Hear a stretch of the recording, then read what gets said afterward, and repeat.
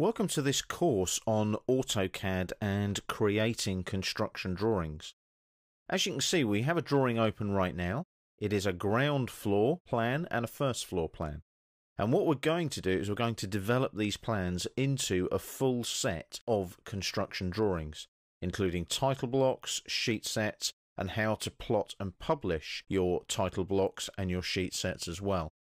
So in this particular course, the skills that you're going to learn are going to allow you to develop your drawings to a professional level, to aid you to set up a set of drawings that you can then ship out to your client, the architect, the engineer, and so on.